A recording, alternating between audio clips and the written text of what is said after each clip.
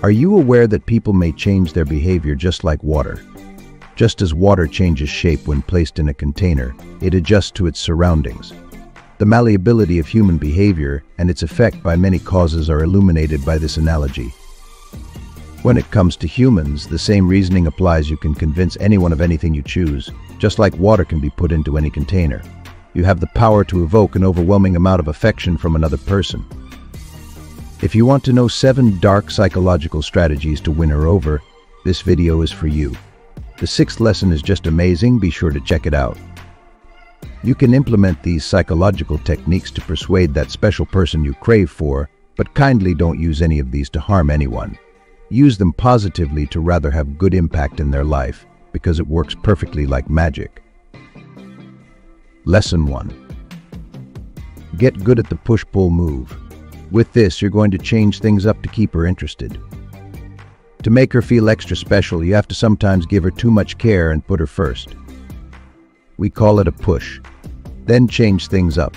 Stand back and pay attention to your own things, such as working hard, making money, hitting the gym, learning and reaching your goals. She can't guess who you are, so this keeps her guessing about you.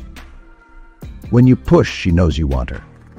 Pulling back makes things more interesting because everyone wants things that are just out of reach. She is trying to figure out what you are going to do next, like in a game. That's what draws her back. To let her know you're interested in her, you need to show that you have a life and aren't interested in just waiting. This shows that you're strong, sure of yourself, and not needy, which makes you a draw. This kind of person simply makes people want to be around them. So use this push-pull vibe to keep her guessing.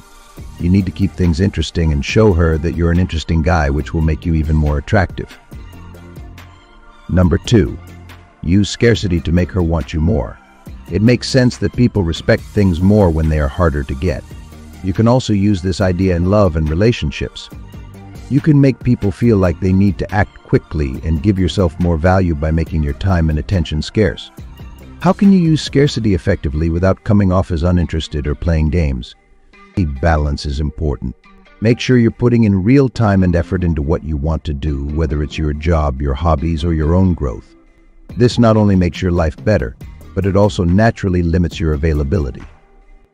This makes the time you do give more valuable.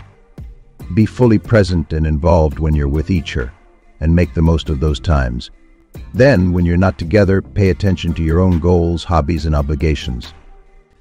This method not only keeps you unique and lovely, but it also makes her look forward to your next meeting. Basically, when you use scarcity in your relationships, you're not being hard to get, you're just living a happy life that everyone wants to be a part of. In her eyes, this approach makes you more attractive and makes her want to be with you. Number three, use matching and mirroring.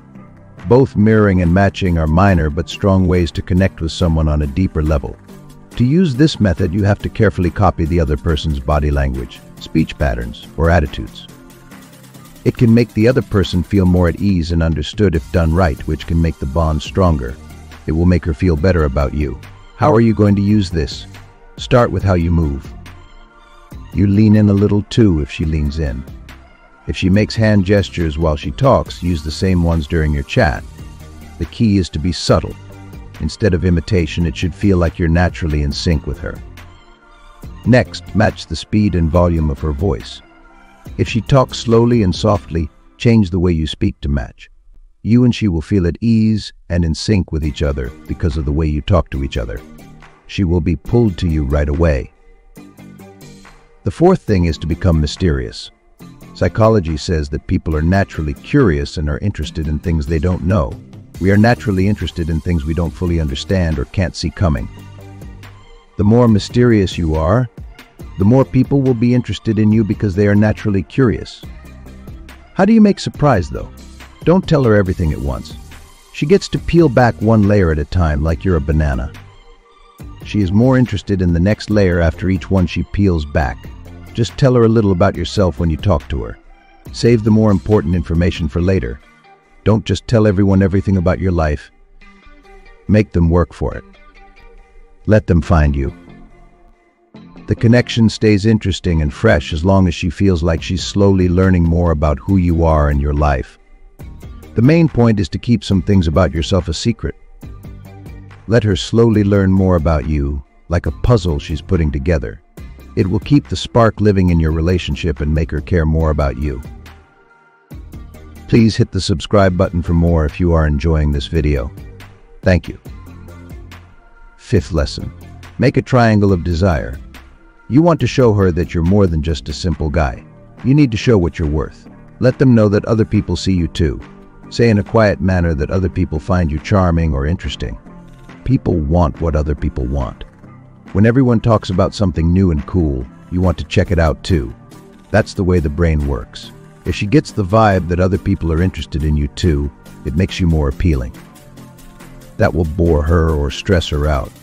This is more of a warning to her and a sign that she's with someone hot and that other people think you're cool too.